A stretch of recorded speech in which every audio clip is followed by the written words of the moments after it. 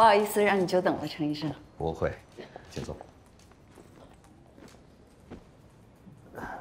说不好意思的应该是我，我知道你们律师都很忙，本来不想打扰，可是给你打了好几遍电话，你都没接。啊，我一般不认识的电话都不会接的。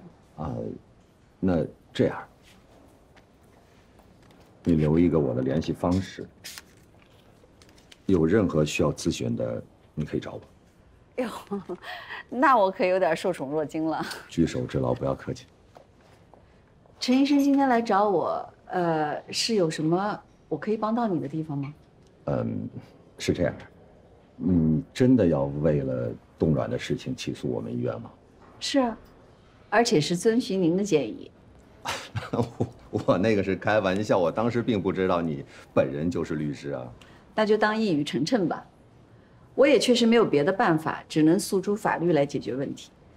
嗯，其实我今天是受医院的委托，希望你不要起诉我们医院。为什么呢？我们也是照章办事。如果你想要解决这个问题的话，咱们可以尝试别的方式。起诉贵院是必不可少，别的方式我也会并行考虑。你知道去年有一起冻卵案吗？当事人徐女士也是以侵犯一般人格权为由，起诉了她就诊的医院。我不是这方面的专业人士，法律的问题不太懂。但是以目前的条件来看，好像在这个案子里，你胜诉的机会并不大呀。的确很难。那你为什么还要把时间花在一个你根本就赢不了的官司上呢？因为这件事是对的。这个世界总要人花时间去做对的事情，哪怕他毫无胜算。还是律师会聊天啊我都无言以对了。你不是我会聊天而是真理站在我这边。好。其实，就我个人而言，我对你的困难还是很同情的。但你知道我是医生，我有我自己的职业规范，所以希望你可以理解。啊，那当然，我起诉医院也并非针对你个人，我对你本人并不恶意。那看来咱们已经冰释前嫌了，是吧？那能不能有这个荣幸，请你吃顿饭呢？这是糖衣炮弹吗？当然不是了，我自己掏钱，医院是不会给我报销饭费的。你知道我们律师的工作是很忙的。嗯。所以呢？所以。我应该只有三十分钟的就餐时间。好啊，这边上就有家菜馆，菜也不错的。冯主任，有人找您。没想到吧？你怎么找到这儿来了？你不跟我吃饭，我记仇了。所以呢？所以，所以我亲自上门，给你一次改过自新的机会。那我只能说遗憾了。只能是再次。你敢？我长这么大，还没有人能拒绝我两次呢。我也不想当第一次吃你螃蟹的人，但是我今天真的是没时间。那我就在这儿坐着，等你什么时候有时间。哎呦，那可不行，我这里边全是保密文件。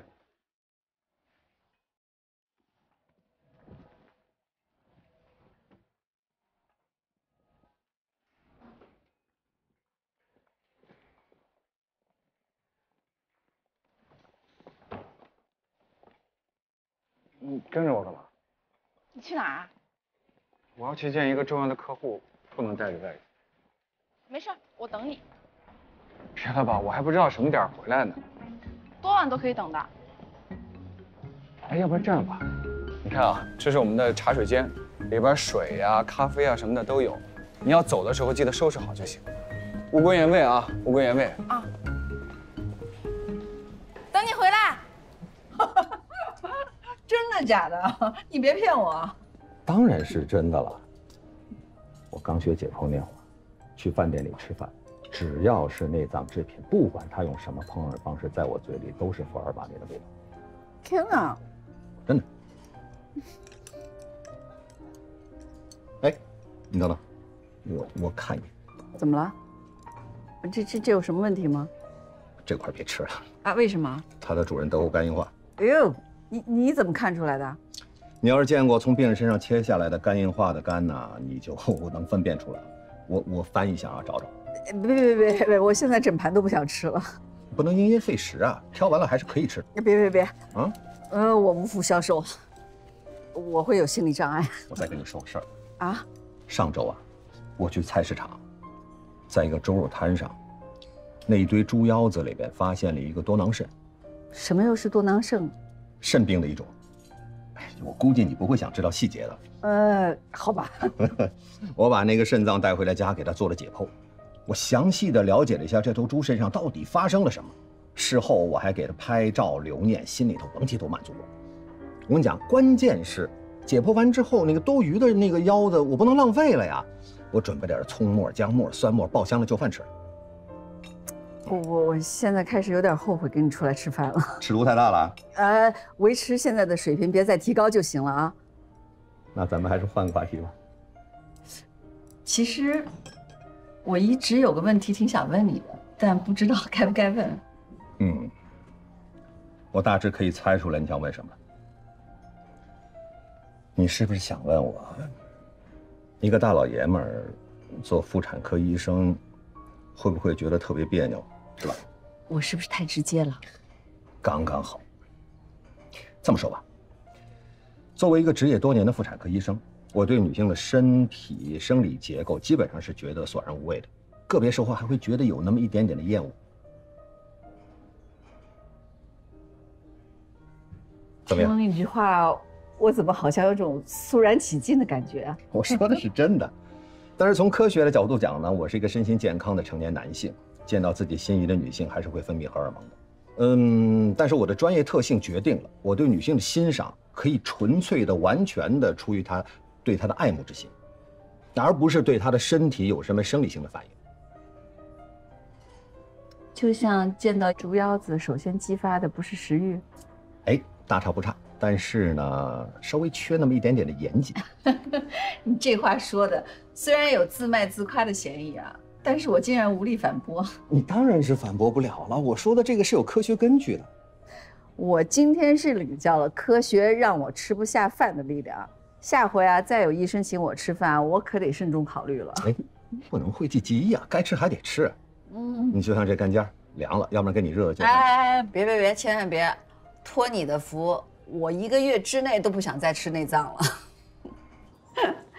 谢谢你的晚餐，今晚过得很愉快。不客气，我也很乖。那咱们就在法庭上见吧。其实我更愿意和你在餐厅里见。那可不见得。也许等庭审结束以后，你已经把我恨得咬牙切齿了。你不会那么残忍吧？要赶尽杀绝啊！你试试看，我会不会嘴下留情？在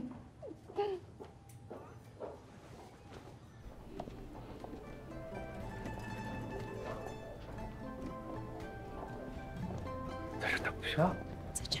这不宋律吗？哎呀，好久不见啊！哎，你好，张经理。哎呀，您今天来怎么没打招呼呀？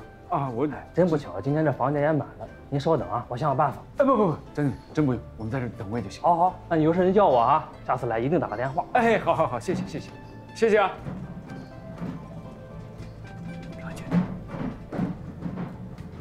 就在这儿等啊。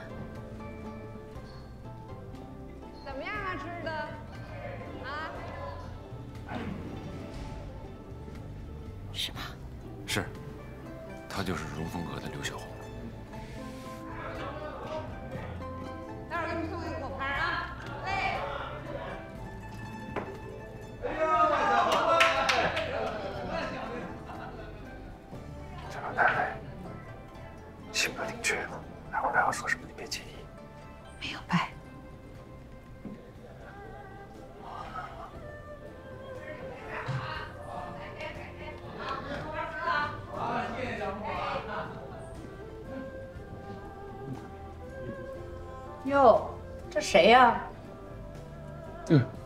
小胡总，好久不见，我太太。刚一出来你就跑这儿来捧场？哎，这不周末嘛，陪我太太出来吃个饭，想来想去还是您这儿的菜好吃，我们就直接过来。哎，我介绍一下，呃，这是我太太顾念。小洪总，您好，小洪总，久仰了。你这个没良心的臭小子，家里有这么好的媳妇儿，还敢出去在外面勾三搭四？哎，你这话说的都不好意思。我要是你啊、这辈子我都不搭理。我哪能跟您比啊？我要是有您的本事，外面那些人也不敢使坏欺负他。嗯，这话是什么意思啊？嘉诚平时办案子多，得罪人也多，您知道的，江湖险恶，防不胜防。还冤枉你呢？一言难尽，不提也罢。要不是你媳妇儿替你说，我真不敢相信你这帮男人那个臭德行。是是，您慧眼。姑娘，我跟你说呀，我这辈子憎恨男人对婚姻不忠。你男人本事大，就算这一次没出事儿，你得看紧了啊，可不能给他撒野的机会，记住了没有？好嘞，您放心，只要有您在，他不敢乱来。不敢。说话算数。嗯，当然。董，哎，那个松鹤厅没人吧？给您留着呢。那甭管了，你把这两位客人给我带过去，把咱们家招牌菜全给我上齐了。今儿这单算我的。哎，不不不，小洪总，我我们在这等位就行。这这怎么好意思？哎，不用。你是应该不好意思，我跟你媳妇儿有眼缘儿。臭小子，你也就沾点光吧啊！姑娘，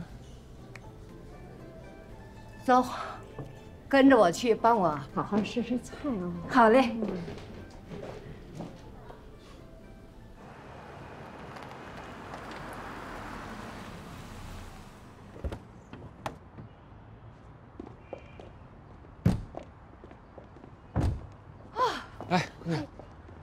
把衣服披上，外边冷。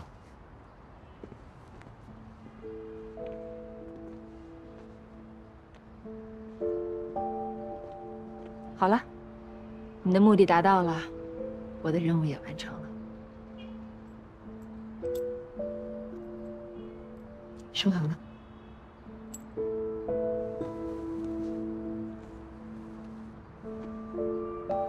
早点回去吧。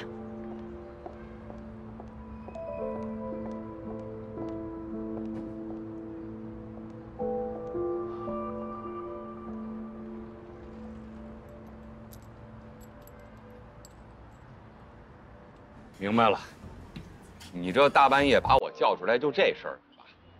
哎，我觉得啊，这什么披衣服啊，这个那个的都不能说明什么问题。我给你个建议，你还是得去找他，找他当面把这些事儿都问清楚，到底是怎么回事。换位思考，咱们站在他的角度去想想看，这又是家又是孩子的，真的生活已经太累了，我真的不能再给他增加压力了。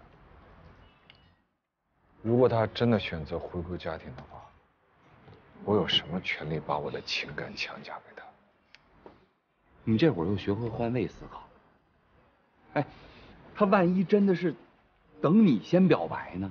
你这没个态度，他很有可能就跟宋嘉诚就这么凑合过下去了。你那会儿真的后悔都来不及，你俩这辈子都不可能有好的可能了。即便是这样，我也还是会尊重他的选择。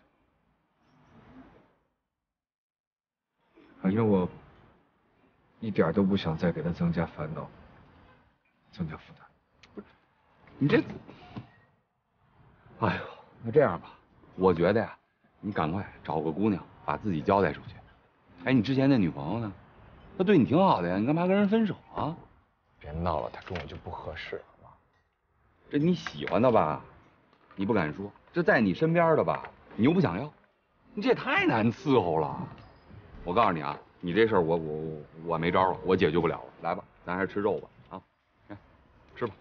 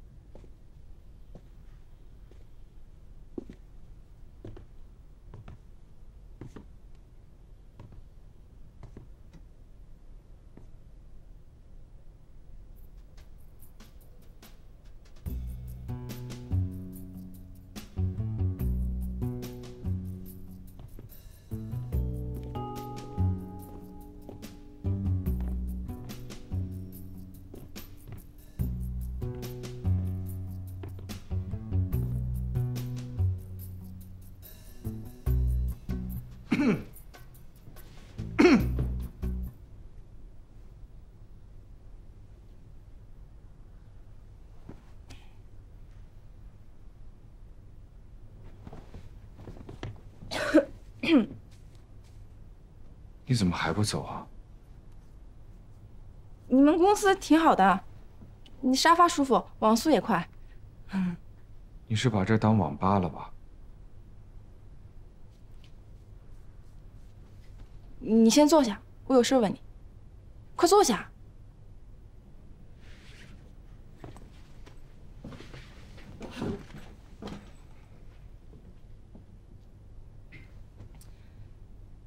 我有一件非常严肃的事情，你必须认真回答我，不许说谎。你说，你视力怎么样？什么意思？就是你眼神好不好使？一个五点零，一个四点八，怎么了？那今天中午十二点半到一点之间，你在律所楼下的咖啡厅是不是坐在靠窗的角落里？你怎么知道？你别管我怎么知道的，还没问完呢。当时坐在坐在你跟你隔了两个座位，差不多这个距离，有一个很漂亮的小姐姐，搔首弄姿想引起你的关注，你是不是都没搭理他？没注意啊，谁啊？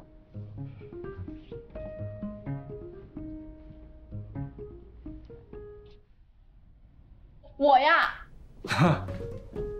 啊你呀，我长那么好看，离你那么近，你居然都没有注意我。难道是我瞎了？啊，不是，可能是，是我疏忽了。亏得我还特地打扮了一番，果然是落花无情，流水有意，天下渣男都一般黑。这都哪跟哪儿呀？你跑去咖啡店干嘛？我制造偶遇呀！你回下周又不主动找我，那我想见你。我一个女孩子，太主动了又显得不矜持，只能制造偶遇了。那你上来直接跟我说话呀？那怎么行啊？咖啡厅里那么多人，如果你不搭理我，那我多尴尬呀！所以你就直接杀到我办公室了？本来我是想直接回家的。但是在路上，我越想越生气。谁受过这个委屈？我就杀了个回马枪上来找你了。看来你真的是很闲，这么折腾你不累啊？不累啊。追求自己喜欢的人，这有什么错啊？很多感情错过了就没有了。这倒是实话。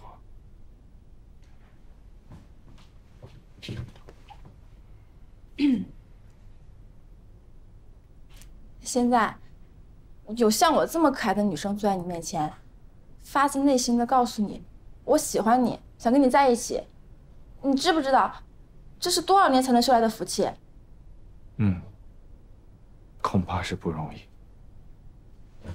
所以，你要不要接受老天对你的考验，享受这个福气呢？你的好意我心领了。非常遗憾，我们俩真的不合适。你没试过，怎么知道合不合适呢？我不用试，我也知道不合适。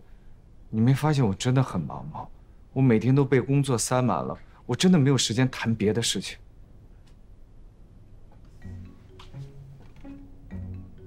好像是啊，我的男朋友可不能天天只想着工作。对呀，那得多无聊啊！啊？这我还真没考虑过，没考虑好啊，就回家好好的考虑考虑。我很负责任的跟你讲，你真的要跟我在一起了，一定会失望的。你现在还很年轻，有大好的青春可以挥霍，你现在正应该是好好享受生活的时候，跟我这种人在一起，就是在浪费时间。啊，今晚回家什么都别想，好好的睡一觉，一觉起来。想法就完全不一样了。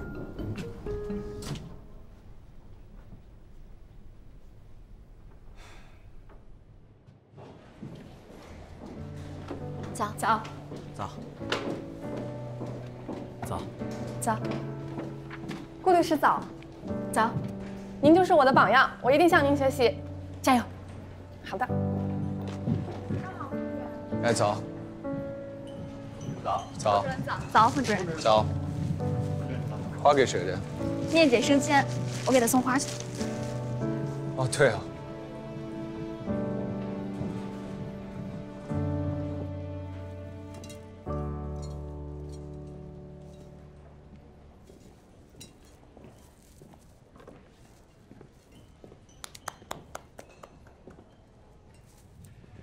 恭喜你晋升为主管律师。谢谢。最应该感谢的是你自己。现在拥有了自己的律师团队，可以独立承接案子，而且以后更加能够发挥你的才干和实力了。你会越来越好的。没有你，这一切都谈不上。我很清楚，你为了今天付出的每一步努力。每个人都是自己成就自己。加油！加油！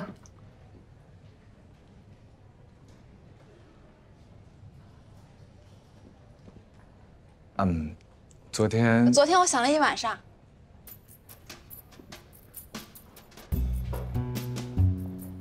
你怎么又来了？找你啊！合着我昨天的话白说了是吗？你说的那些话，我都是认同的，但可能是我打开的方式不对，我们可以换一种方式相处。你不用这么看着我，我今天是因为工作来找你的。你还记得那些维权的家长吗？他们想拜托我联系一下那天的热心律师，也就是你，来帮他们处理一下集体纠纷。我又不是在当地执业的律师，他们找我干什么？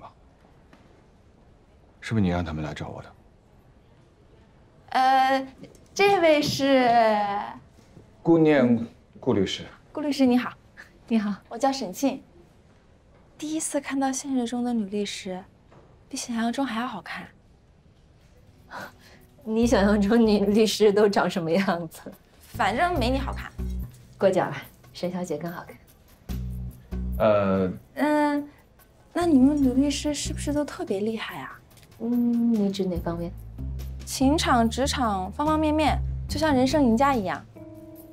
嗯。人生赢家可能跟职业并不完全有关系，得看个人吧。呃，现在是工作时间，咱别扯那些。我就是因为工作来找的你啊。那些维权的家长很可怜的，他们现在都没找到信任的律师，你帮帮他们吧。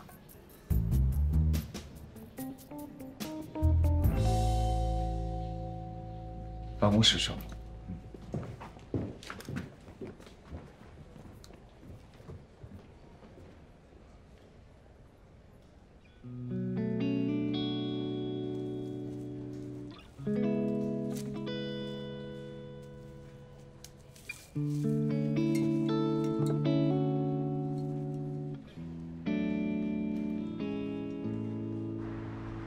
如果原告现在可以立刻冻卵的话，那么将来他结婚以后健康生育的机会会更大，面临的风险会更小，是吗？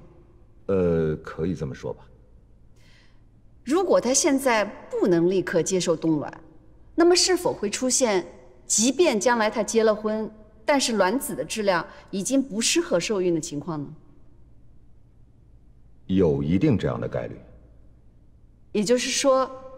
你认为实施冻卵技术是有一定几率可以降低晚婚女性生育风险，并让她们在结婚以后有更大的几率获得一个健康的孩子。但同时，你也认为晚婚女性获得这项医疗服务的唯一途径是尽快结婚。这就让我想不通了。如果这些女性可以选择立刻结婚的话，那么她们何必还要来医院寻求冻卵呢？你认为医院的这套逻辑可以自洽吗？我恐怕没有办法替医院来回答这个问题。陈医生嗯？请问在你的价值观里医生的天职是什么？悬壶济世救死扶伤。谢谢我问完了。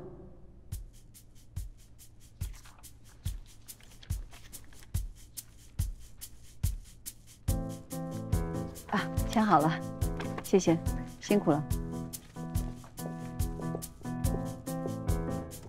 恭喜你啊，大律师，说的真好。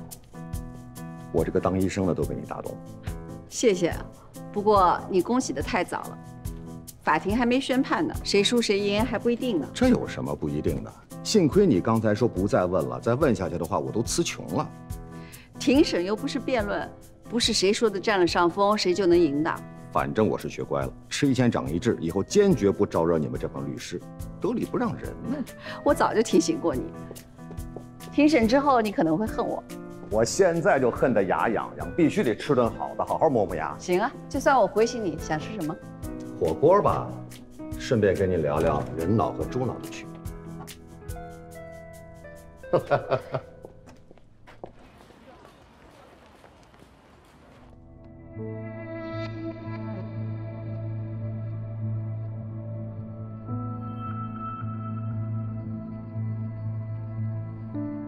诸位，今天合伙人会议有一个重要的议题，宋嘉诚要回来了。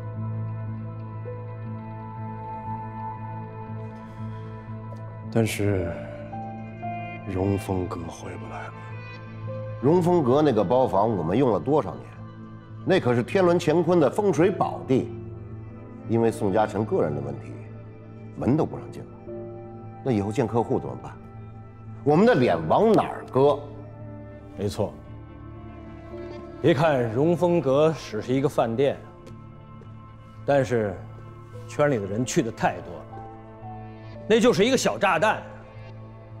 老孙刚才说那些事儿，在那儿都传开了。现在荣丰阁不但要跟咱们解约，而且连饭都不让咱们吃。咱们堂堂的一个天伦乾坤律所，什么时候混到这种地步？要我说，宋家臣就不应该官复原职。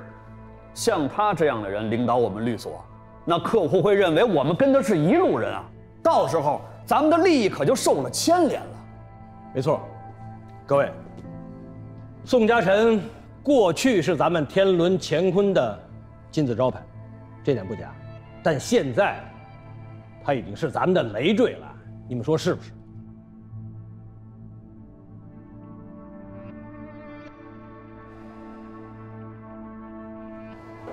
宋主任好。好。嗯。宋主任。好。哎，你好，宋总。宋总。哎，你这个入职了吗？办了，办了，多亏您了，谢谢宋主任。好好干啊！哎，宋总好。颈椎还没好呢，回头给你介绍老中医啊。谢宋主任。你是新来的啊？真帅！你忙。主任好。哎，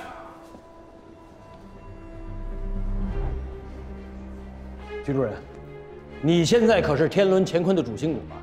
到了当机立断的时候。我们知道你是宋主任的得意门生，但是现在律所里这么多人等着吃饭，您不能只顾自己的情感，不考虑我们大家的死活吧？徐主任。不能因为某一个人的错误牺牲大家的利益啊！对，小徐，你必须痛下决心，不能再等了。对，绝对不能牺牲大家的利益。徐主任，你得为我们主持公道。对呀，徐主任，您得主持公道，说两句吧。主持公道，你今天批表说两句，您说句话。我。既然这样。我认为，哟，大伙儿都在呢。哥，您来了，坐。今天不是合伙人大会吗？我来看看大家。嘿，都挺好的吧？好，好，好。哎，慕言，你们、你、你、你们接着、接着说，别管我。呃，也没什么大事。老大回来了，有请老大说两句。哎，你、你们都吃早餐了吧？啊，吃了，吃了，吃了，吃了。那我不客气了啊。我今天来呢，一主要是来看望大家，其次呢，嗯，啊，之前荣丰阁啊跟咱们合作出了点小问题，我跟小洪总见过面了，没事了，啊，慕言，哎，你赶快找人跟进一下那个续约的事儿，啊。这么重要的客户别怠慢了。您放心，嗯。哎呀，看到各位这个乐以忘忧的状态，我真的很欣慰。嗯，几点了？九点半。对不住各位，我得先走了，我上午约场球，双打。对，那个你接着开会，我不打扰了。哎，这样，这周，呃，这周末吧，咱们到荣丰阁团建啊，到时候谁也不许请假，都得来啊。好，一定到，一定到，一定到，一定到。二妞，你又胖了，多约我打打球，锻炼锻炼。你们聊。哎，哥，我来。嗯。哎，哥，您慢走。好。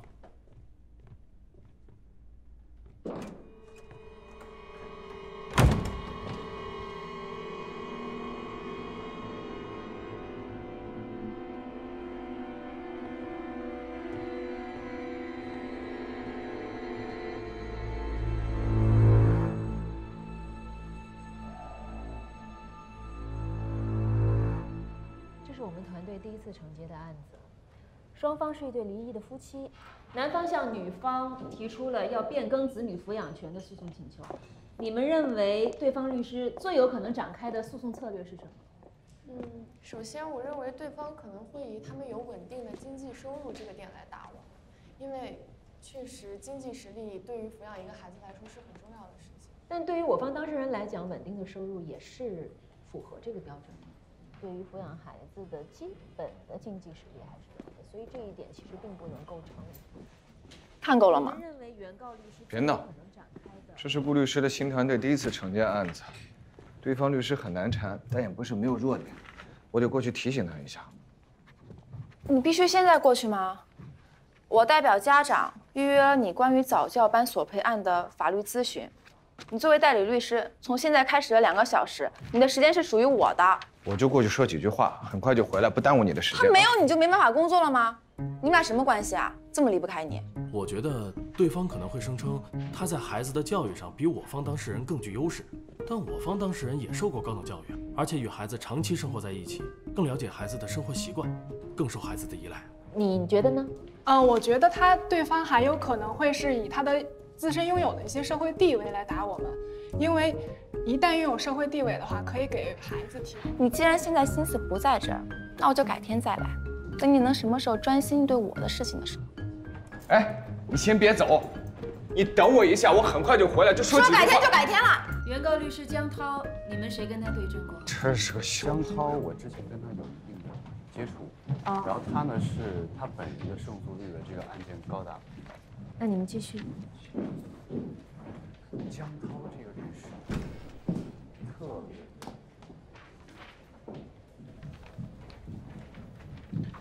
想不想要克江攻略？克江攻，克对方律师江涛的攻略？你有吗？没有，那怎么能行呢？我当然是有了。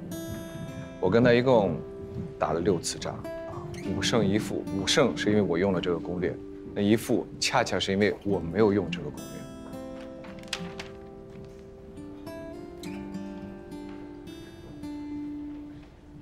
太感谢了，有了你的克江攻略，我更有信心了。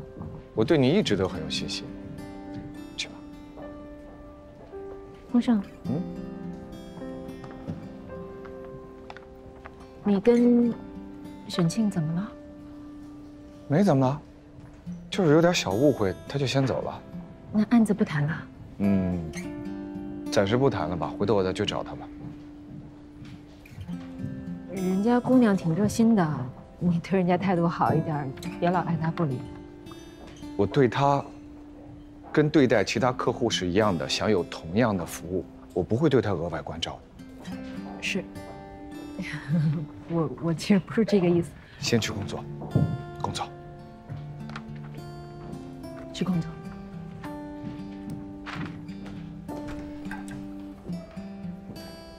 浙江攻略，方主任给的。方旭这是你要的资料。哎好谢谢。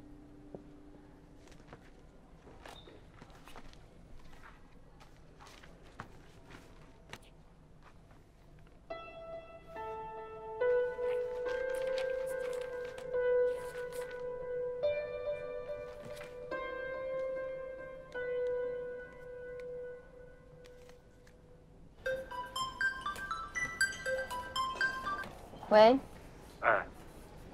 你一定猜不到我看见什么了。别告诉我，怎么能不告诉你呢？我在天伦乾坤的案例档案上看见你签名了。哎，你在天伦乾坤还干过呀？是啊，不可以吗？没说不可以，没听你提过呀。不值一提。哟，听起来干得不开心啊？因为什么呀？你还有事儿吗？没事我就挂了，我忙着呢。等等等等等等。哎，你还有多少秘密是我不知道的呀？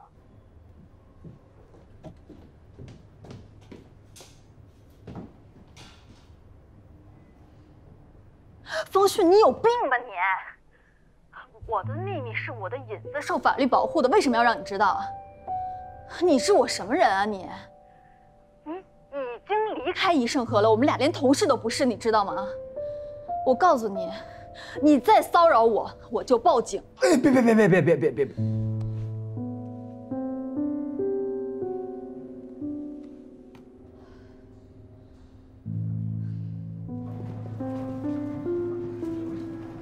哎，再见，再见，再见，嗯，龚主任再见。好，再见。再见。嗯，再见。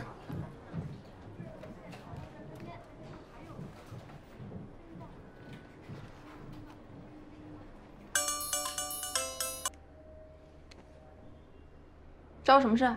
你走了？走了，我就看你是不是要给我打电话呢。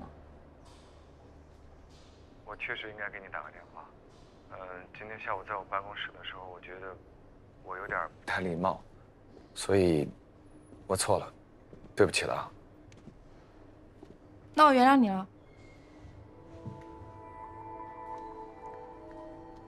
现在我们可以接着谈案子了吗？妈，现在基本的法律流程就是这样，但是我觉得你还是有必要提醒一下那些家长。一般这种官司，我们胜诉的悬念不大，但是难点是在执行阶段。也就是说，即便我们赢了这个官司，通常也未必能够拿到赔偿。我会跟他们沟通清楚的。我的栏目也会持续跟进这件事。你会接受采访吧？会吧，如果你需要的话。嗯，还有什么其他问题吗？有啊。跟我说说他呗。谁？顾念。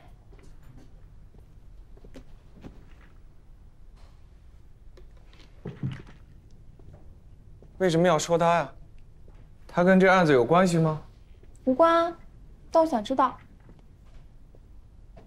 你这大晚上的说人家干啥？你再把人家顾念说的打喷嚏了。我很喜欢他，对他很好奇。你的所有同事里面，对他印象最深了。有啥好奇的？他跟我大学同学，现在又是同事，如此而已。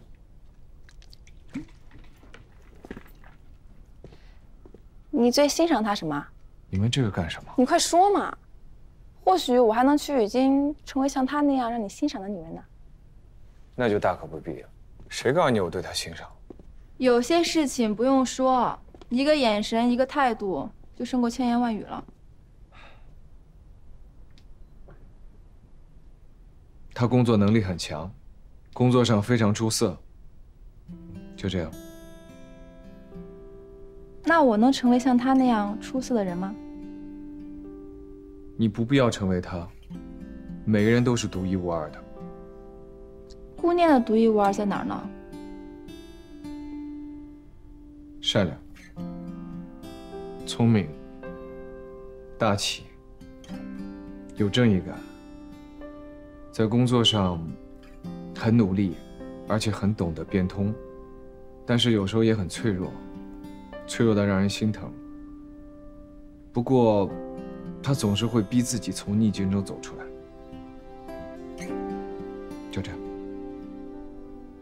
说完了。嗯，完了。这才是一个男人对一个女人的欣赏和懂得。你刚刚说他的时候，眼睛都是放着光的。你什么时候才能这么懂我、心疼我呢？什么乱七八糟的！你刚说完你还不承认。不过没事儿，反正我还年轻，来日方长。我怎么就 get 不到你的点呢？我能 get 到你的点。